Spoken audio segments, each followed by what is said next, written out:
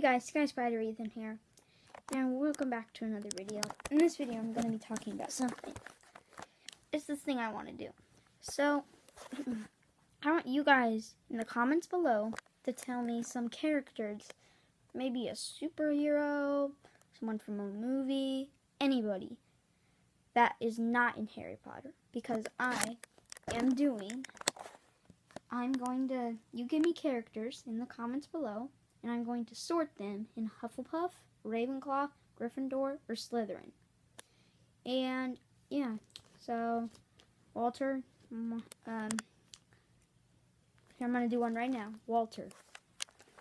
I'm going to say he's in Hufflepuff. I don't know.